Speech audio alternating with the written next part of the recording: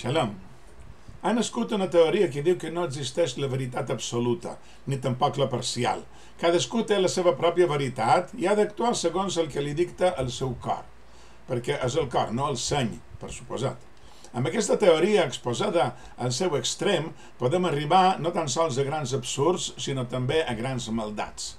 Hi ha persones que decideixen avui en dia que el seu gènere està equivocat, o fins i tot que no són humans, que són animals, perquè diuen que així ho senten interiorment.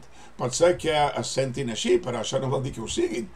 Decidir que som lliures de veure segons el, de viure segons els nostres sentiments més particulars en pot causar declarar que tu em pertanys i que puc fer amb tu el que vulgui.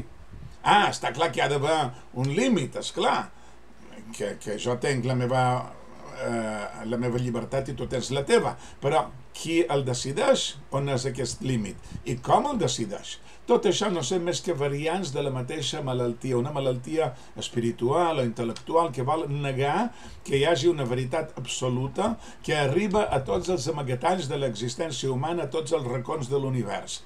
El creador del món ens va fer un gran favor quan ens va donar la Santa Torà, on ens mostra la veritat absoluta, allunyant-nos dels grans perills, dels dictàmens humans, quan es desconnecten de la realitat.